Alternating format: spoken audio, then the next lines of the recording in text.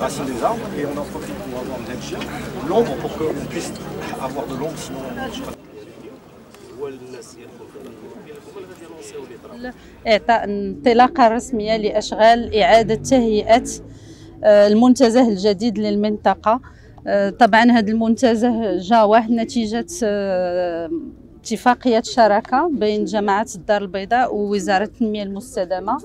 عرف جوج ديال المراحل. أولا كانت إعادة تأهيل المطرح القديم اللي عرف واحد سنوات ديال الاشتغال. اليوم جات المرحلة الثانية اللي هي خلق من هذا المنتزه ولا من هذه المنطقة منتزه جديد إن شاء الله. المساحة الإجمالية 12 هكتار القيمة ديال الأشغال 19 مليون ديال الدرهم. والمدة ديال الإنجاز سبع أشهر. طبعا اليوم هذا المنتزه غادي يعرف تواجد ولا ملتقى الأجيال لأن بغيناه يكون منتزه للأطفال منتزه للشيوخ منتزه آه، للرياضة وللشباب. كاين لو باركور ديال خمسة ديال الكيلومتر للجري. كاين مناطق اللي غادي تكون خاصة بالألعاب الأطفال ومناطق أخرى مخصصة للشيوخ اللي آه، عندهم متطلبات أخرى. الغاية من هذا الشيء طبعا هو خلق منتزه لكل مقاطعة وهذا الشيء راه جا في برنامج العمل ديالنا. اليوم محتاجة الدار البيضاء لمساحات خضراء جديدة من أجل آه، إعادة آه، البيئة. يعني المبتغى الإجمالي هو أننا نوصلوا لواحد الهدف هو أننا نقلصوا من درجة الحرارة ونقلصوا من ثاني أكسيد الكربون عندنا داخل المدينة. وطبعا هاد المساحة الجديدة ما إلا بغات تكون متنفس كبير وفي نفس الوقت يعني آه، تصحيح للبيئة داخل المنطقة. كيف ما شفتيو عندها خاصيات لأنها فيها إعادة تأهيل وبالتالي الأنواع ديال الأشجار اللي اليوم غادا تغرس 140 ألف أربوست. مع واحد 140 شجرة اللي غادي يمكن لها تعطي واحد الجمالية للمنطقة. كل شيء كان مدروس حتى آه، نوعية المغروسات إن شاء الله غادي تكون حتى هي كتواكب البيئة ديالنا وندره المياه وبالتالي غادي يكون يعني كان التفكير حتى في هاد لي زيسبيس اللي غادي نغرسو. والمياه السقيطة طبعا حتى هي اتخذت بعين الاعتبار.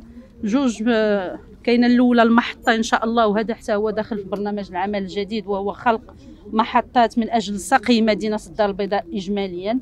اليوم برنامج غادي ينطلق في جوج ديال البلايص في العنق وهنا في البرنوسي من أجل السقي ديال العديد ديال المساحات الخضراء.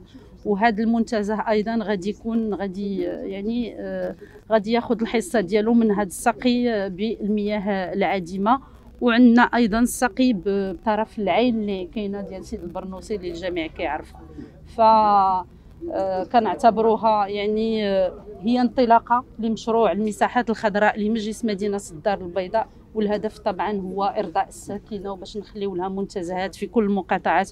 ما تبقاش تمشي ضرب مسافات باش يمكن لها تلقى منتزه. فكنظن على انه مشروع سيدي طبعا هنيئا لساكنه الدار البيضاء وساكنه سيدي مؤمن بالخصوص التدبير غنوصلوا له التدبير سي كذا بيئه ان شاء الله يمكننا ناخذوها بعين الاعتبار لأن غادي تكون طبعا حنا حافز اليوم كنشتغلوا على أن التنمية الاقتصادية لبلادنا ولمدينتنا تكون طبعا منطلق من الساكنة اللي كتكون مجاورة للمشاريع بصفة عامة. هذا الفضاء كيجي الافتتاح ديالي اليوم بعد فترة سابقة اللي كانت خاصة بالتأهيل ديال ديال هذا الفضاء أنتم كتعرفوا أن هذا كان مطرح قديم.